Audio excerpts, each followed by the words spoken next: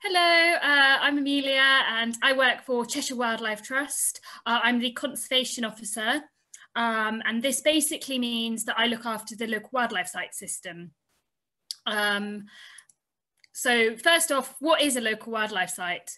Well, local wildlife sites have a local emphasis. They support habitats or species that have a regional importance. They've been recognised of having substantial nature conservation value due to their distinctiveness. And distinctiveness is basically whether it refers to a habitat being of high, medium or low value um, to wildlife. Um, or local wildlife sites are sometimes recognised um, due to the presence of threatened or rare species uh, or habitats. Um, and sometimes these are considered priority species or habitats, such as those that are BAP's Biodiversity Action Plan. Um, so as lo local wildlife sites are recognised locally, they are found across our country in every single county. There are almost 44,000 of these sites forming a network over the entire country. Uh, and in Cheshire, we have over 1,000 of these sites. Uh, as these sites are identified locally, they're sometimes given different names. Uh, you might hear them referred to as SNCIs, Sites of Nature Conservation Important, or SINCs, Sites of Importance for Nature Conservation. Uh, but this reference is almost historical um, because there's been a national standardisation process um, that provides a little bit more integrity to the local wildlife site system. Um, so this national standardisation approach has led to um, it being formed of partners um, that will identify, select and monitor local wildlife sites. It is usually administered on a county-wide approach. So in Cheshire, uh, this encompasses Cheshire West and Chester, Cheshire East, Halton, Warrington and Wirral. Uh, Manchester and Merseyside have different systems. Um, they are under a separate biological record centre and the criteria is um, set differently that reflects this more urban environment. So sites are only selected if they meet this local criteria. Um, and it's mostly set out by knowledgeable individuals or groups um, that might have that county uh, knowledge. Um, so in Cheshire, um, this criteria was last updated in 2013 and we're currently wanting to review this um, and just see how it, it's still, yeah, just uh, constantly updating it. Um, so once the sites uh, have been surveyed, um, they then need to be approved. So once it meets criteria, it still needs to be approved. Um, and this is done by a local partnership. Um, they're normally formed of local authorities, local wildlife groups, uh, Natural England and the County Biological Record Centre. So that's a record in Cheshire um, who's hosting tonight's event. So local wildlife sites are non-statutory, which means they have no legal protection in comparison to some of our statutory sites, such as triple SI, sites of special scientific interest. Uh, although there is minimal protection for these sites, they are given consideration and recognition within the planning system and the national planning policy, which is really important that they are recognised as being of local value so local wildlife sites can really look different from one to another. Uh, they can vary in shape and size, uh, with some sites being less than one hectare in size, such as narrow road verges, or a much larger encompassing entire woodlands. Uh, the shape also may be affected due to the reasons it's been designated. Uh, for instance, um, a presence of water vole might mean that uh, the entire uh, watercourse would be then designated uh, because of these breeding territories. Um, but they're always um, given that protection locally. Um, so that would reflect the landscape. Um, they're usually semi-natural habitats, um, grasslands, wetlands, um, woodlands. Um, but yeah, the focus or is is that localness, uh, and that's what Cheshire looks like. Um, so when you start thinking about um, Cheshire, it's a very heavy agricultural with and it has changed drastically. Um, in the last 60 years, the discovery of an application of fertilizer um, has shaped how farming is done and yeah it's just changed it. Um, many habitats uh, including grasslands are particularly sensitive to the nitrogen input um, with many botanical species um, being outcompeted with uh, this higher nutrients um, in the soil um, it's, been estimated that 99% of uh, species-rich grasslands in Cheshire have been destroyed, which is a huge number. Um, really important then that these sites are looked after, these grassland sites are looked after. This nitrogen nutrient input um, and change in management favouring silage over traditional haymaking has meant that the remaining species-rich grasslands, which this one is, um, are of significant value within the region.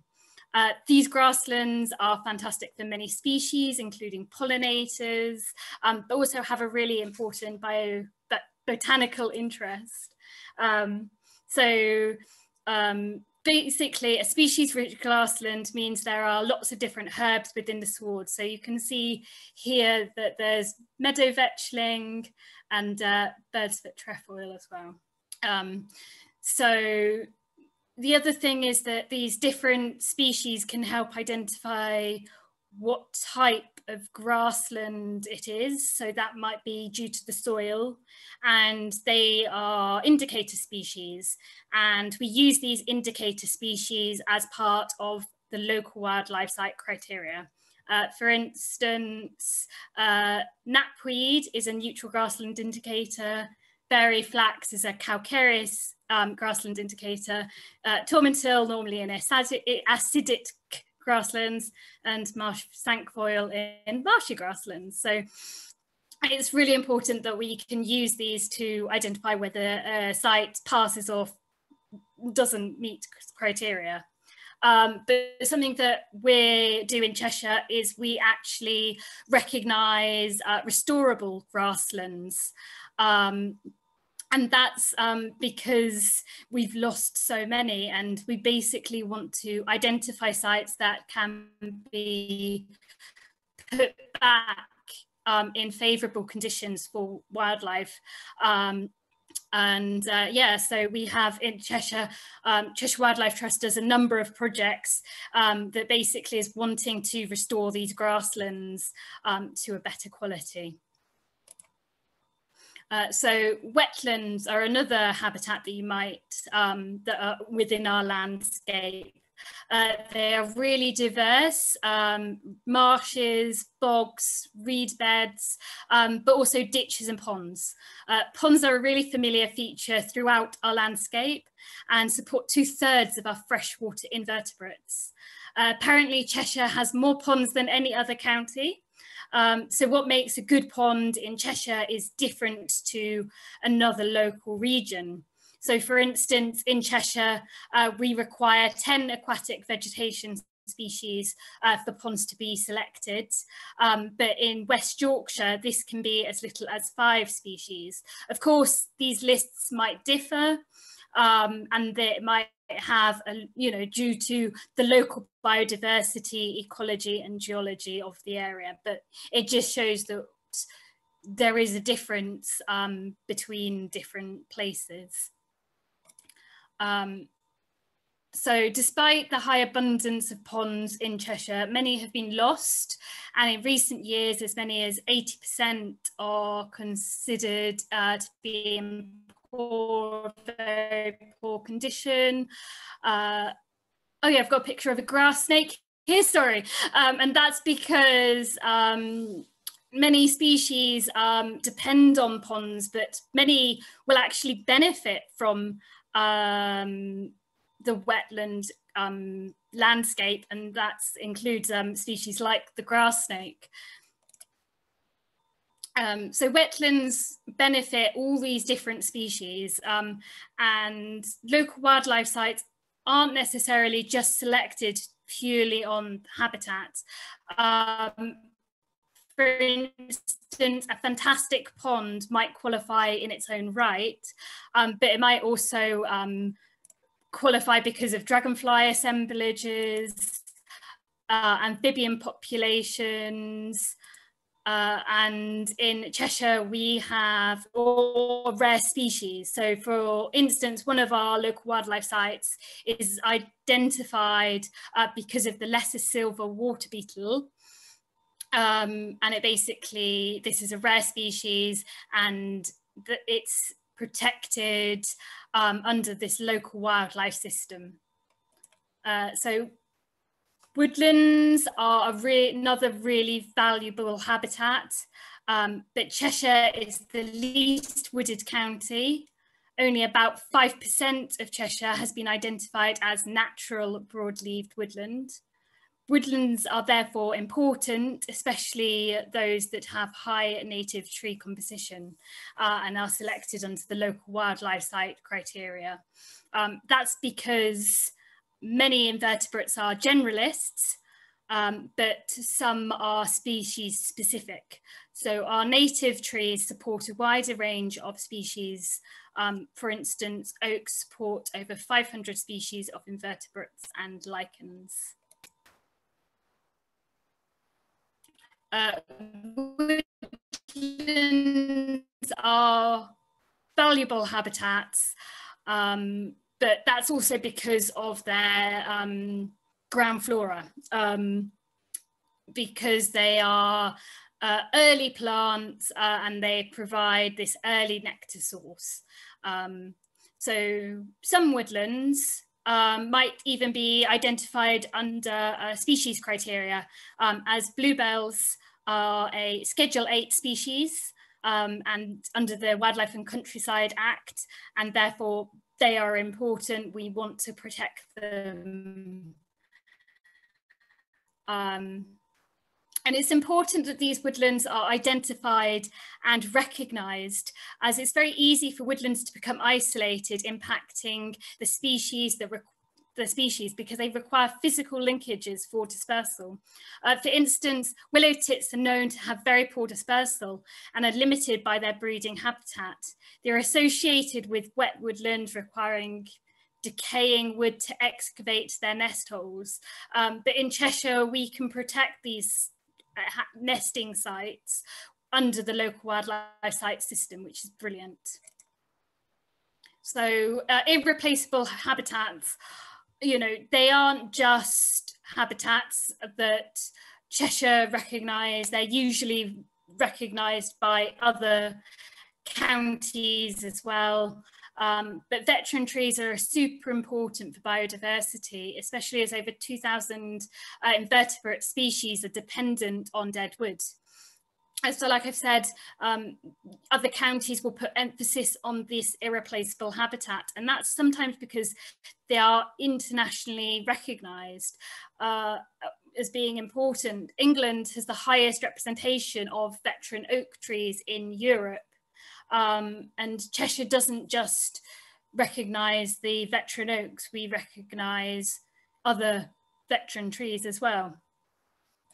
Um, so many um, veteran trees are normally found within ancient woodland, funnily enough, uh, which is another irreplaceable habitat. Uh, but in Cheshire, there are, is less than 2,000 hectares of ancient woodland left, which is about the size of Macclesfield Parish Council, which is a very small part of Cheshire if you really think about it. Um, but all of these woodlands, ancient woodlands, would be protected under the local wildlife site system, which is what we want. So why are local wildlife sites important? Uh, they form part of our landscape. Um, as we know it. They support wildlife seen that we see visiting our gardens.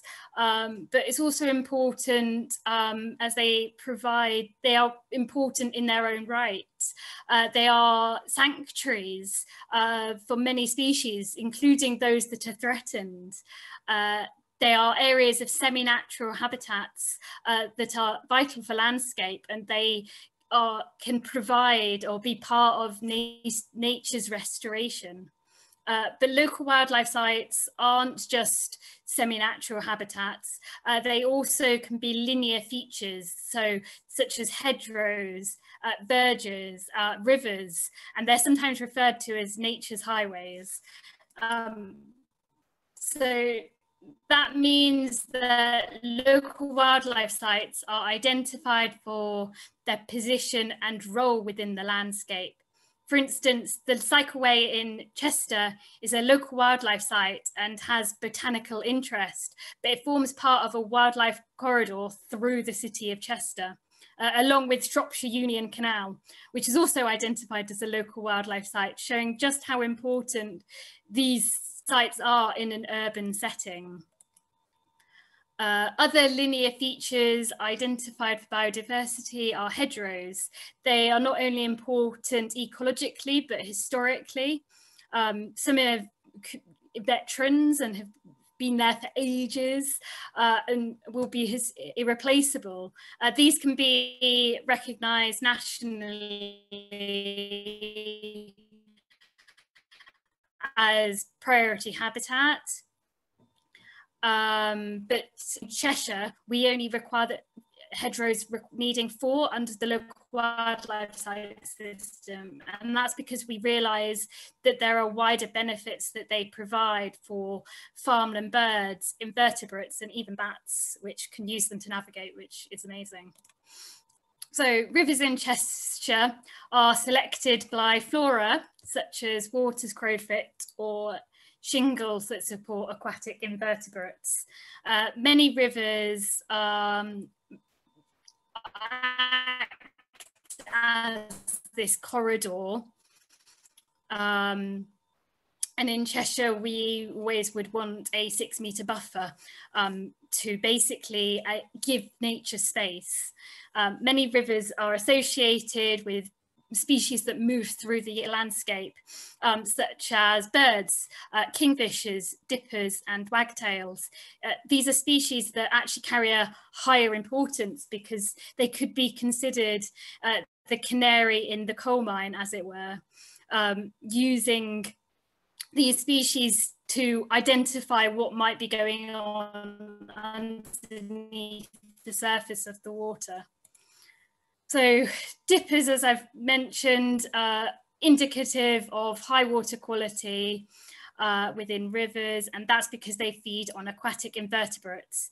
Many of these are river flies, uh, stoneflies, caddisflies, mayflies are intolerant to pollution and have been used to monitor and identify pollution incidents and recovery from these. So although I have heard in the news uh, that apparently all rivers are polluted, so I guess it's even more important that they are protected and given that value when they provide an ecological benefit. Um, another really important thing for rivers is dispersal. Um, there's been research that shows that banded demoiselle dragonflies occurrence has been correlated with habitat quality.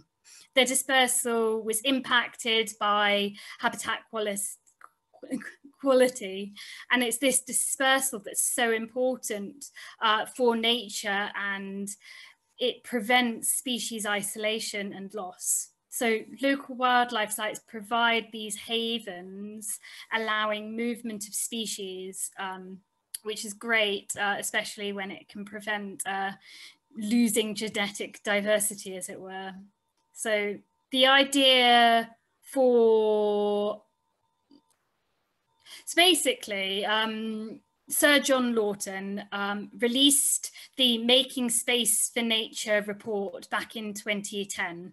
And his idea from that was that England needed more, bigger, better, and connected sites where emphasis was given um, to local wildlife sites um, due to the wide and comprehensive cover that they would give, um, but also how they can provide connections uh, in the landscape. So in essence, uh, local wildlife site can form these, these stepping stones, as it were, um, so that nature can travel. They have these linear corridors and also buffers from what we call our core sites. So core sites or core areas um, might include your statutory sites. So they are of national importance, such as your triple SIs, international important, which are your SACs, special areas of conservation or SPAs, special protection areas, but also those that have been locally identified, such as local nature reserves. So in Cheshire, this ranges from all the way from the Dee estuary over here, all the way to bits of the uh, um, the Pennine Moor, which is all the way on the near the Peak District. Um, but despite this, a lot of these sites will overlap. Um, but despite this, it, this cover only actually equates to about 6% of the county that's actually given statutory protection and even when you look at local wildlife sites, although some of these might form um, core areas, a lot will act as connections, allowing for wildlife to move through the landscape, which I've already said is really important for that species dispersal. Um, so Cheshire is pretty typical compared to the rest of the country, with again approximately about that 6% of the county identified as local wildlife sites. Um, but according to the Lawton report that came out, the local wildlife sites as they stood only formed part of the solution, as in their current form, they were too small, undermanaged, and didn't provide enough resilience in our landscape for nature. So the recommendation was that ecological networks would be, you know, should be introduced and they would be achieve, achieve in achieved by enhancing, improving, and in restoring. So fast forward 10 years to 2020, and there is finally a proposal for a nature recovery network. It is not a new concept, but it's an ideal that is one of the key focuses for the Environment Bill. The idea is that it should be considered alongside farming practices in the farming landscape and the planning reforms to enable nature to, to move through the landscape um, and has a more of a joined up approach. Um, the aim is to increase the extent and quality of natural habitats uh, because the nature recovery networks that protected sites alone don't actually or cannot meet wildlife needs independently. And it's the connected landscape that we need for nature's recovery. Um, I'm sure some of you might have been familiar with the State of Nature report that came out in 2019, and it basically found that as many as 40% of species had decreased in abundance, with many species being impacted by agriculture urbanisation, pollution, and climate change. The purpose of this network is not only to have areas where nature can supposedly thrive, um, such as the core areas, but goes beyond this, allowing for restoration of natural areas, placing value on those that are currently not recognised um, to create a more resilient network. So when I'm saying not recognised, it's basically um, because we have something called potential local wildlife sites in Cheshire. Um, and to a degree, um, the local wildlife site system is only as good as the data we have. And these potential local wildlife sites are identified by individuals or data that suggests they might qualify, um, but have had no formal survey. Um, just be aware that the pictures or rather the sizes of these aren't actually realistic. Uh, I've enlarged them just so you can sort of see where they are. Um, and that's because many of them are actually just one less than one hectare in size, um, with over you know, a, a, lot of them can be quite small, but that doesn't mean they're not important. Um, why, you may ask, um, and that's because when housing developments or big infrastructure projects occur, such as HS2, our local wildlife sites are going to be impacted and the data can help shape these decisions. So it's really important that any, any area that meets local wildlife criteria is considered a local wildlife site. Uh, so HS2 has made a commitment for no net loss, but not knowing how much is going to be lost is important. So Cheshire Wildlife Trust have been really heavily involved to ensure that the correct mitigation is calculated. Uh, since 2017, we've been involved with resurveying many existing local wildlife sites uh, so we've resurveyed 94 existing local wildlife sites. Uh, we've designated 17 new local wildlife sites with the hope that uh, 15 sites will be designated by the end of the year. And many of these sites fall on the HS2 route and the potential local wildlife sites that weren't previously designated can now play a role in ensuring the right level of mitigation and compensation for wildlife is provided for. So again, new changes. The government's released this white paper um, on its new planning reforms. Um, many planning decisions are data-led. Therefore, we need robust and trustworthy data uh, that's that we need for the local wildlife site system. As the reform stands, it's based on making decisions on data that isn't quite complete. A lot of the local wildlife site, site information is outdated, and this isn't just a Cheshire problem. Uh, suggested that local wildlife sites should be surveyed every 10 years, but available resources have meant that some of these sites have meant haven't been surveyed since the 1990s, which is a really long time ago. Uh, Cheshire Wildlife Trust is committed to ensuring that local wildlife sites uh, data can be a useful tool both with the creation of the nature recovery network but also within planning. And for that we need to continue resurveying existing local wildlife sites but also identifying new local wildlife sites and this is where a lot of what I do comes into it, uh, surveying local wildlife sites. Uh, typically, when you go out, uh, you might make draw, draw, have a habitat map, you're out surveying, you might create a species list. Um, and this is also that these can be compared to the criteria. Not only are you generating records for this site, but you can also check to see whether it still meets criteria. Um, and this can help then generate a citation, uh, which details what the site's important for. Um, but it's also important when we go out, we make note of the condition that the site is in. Um, and this is really important so that we can feed back to landowners, uh, whether that's habitat management advice or just generally. Uh, so many local wildlife sites are privately owned. Oops, sorry, that's are privately owned.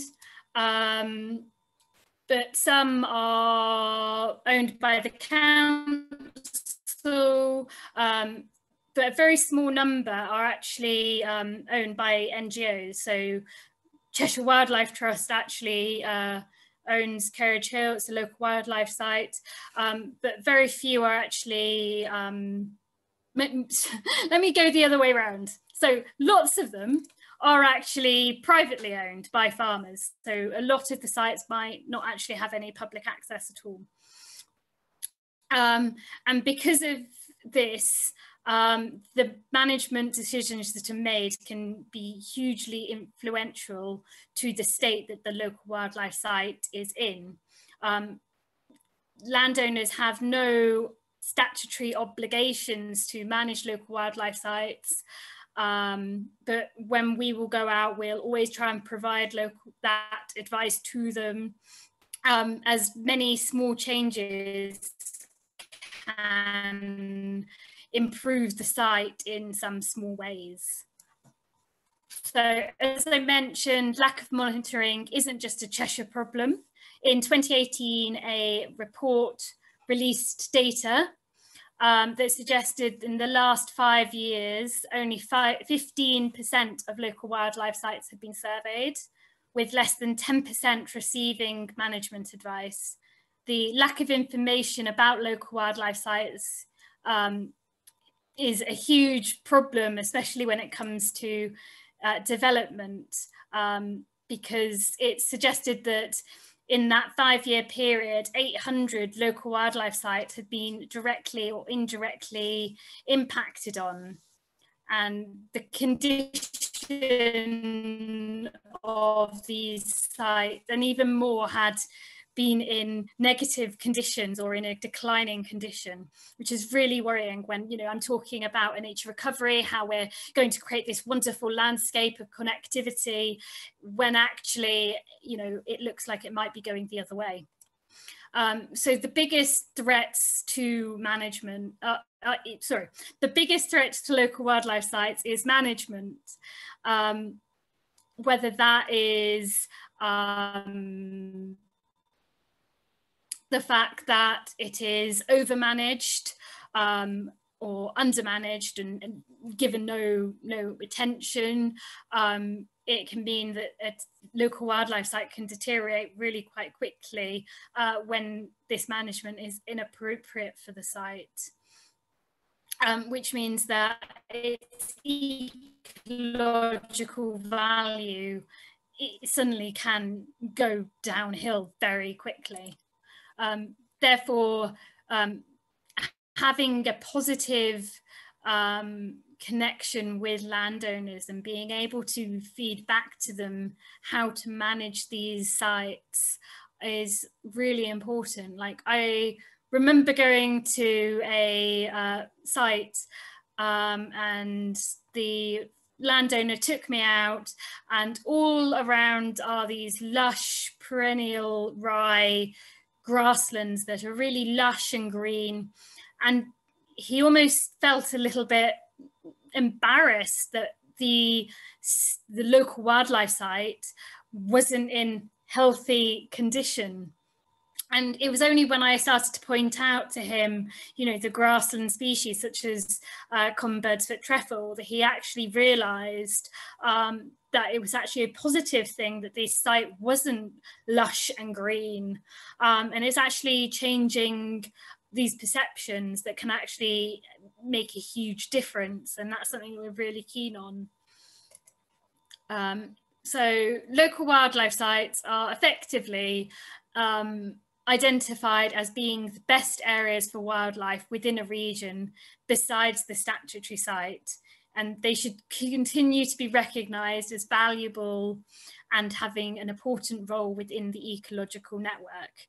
Uh, without this continued survey efforts, liaising with landowners and correct habitat management, this system will lose its benefit as more local wildlife sites decline in quality.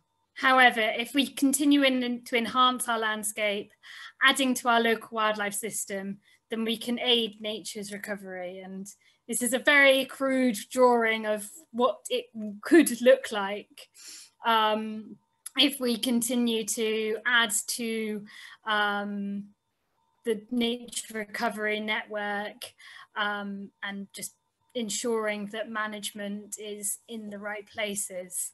Um, so we're committed to ensuring that this system works uh, for wildlife, um, providing landowners um, with advice, um, de designating more local wildlife sites, and giving these sites the best chance to provide maximum benefits to nature and nature's recovery. I've, I've, talked a little bit about percentages, and the reason for that is that in Cheshire, uh, less than 15% of the county is of, you know, statutory local wildlife sites and potential local wildlife sites. And a lot of this isn't in the best condition. But the wildlife trusts have made a commitment to get 30% of landscape working for nature by 2030. It's a big ask, but I know that the local wildlife system is one of the ways that we can uh, get nature working or getting the landscape to work for nature. Um, so if you would like to get involved at all with surveying local wildlife sites, then we'd really like to hear from you. Um, if you think you know a site that is valuable for wildlife, um, then we really want to hear to, from it to, but there, we really want to hear about it um, because we can add it to the potential local wildlife sites um, list.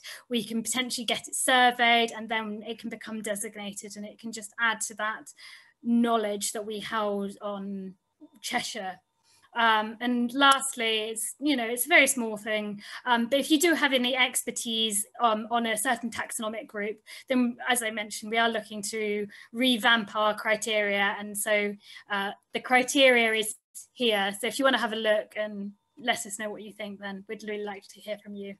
So I'm just going to uh, leave you on a quote from Sir David Attenborough. Um, the national network of wildlife sites is important not only to ensure the future of rare species, but also more common ones like thrushes, peacock butterflies and cowslips.